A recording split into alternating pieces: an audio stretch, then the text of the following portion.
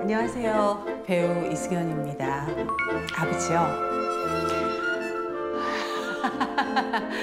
참 멋있고 음, 훤칠하시고 시대의 한량 같으신. 그래서 아버지는 음, 그래 세상 사람들한테는 너무너무 좋은 분. 근데 가족에게는 모르겠어요.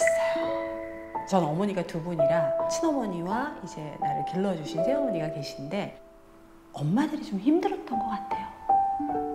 엄마들이 아빠랑 살면서 근데 아빠 당신은 또 전혀 그렇다고 생각을 안 하시니까 어릴 때부터 쭉 내 눈으로 봤던 아빠는 음, 정리되지 않은 사랑이 있었던 것 같아요. 친엄마에 대한. 왜 이렇게 여자들한테 못했어?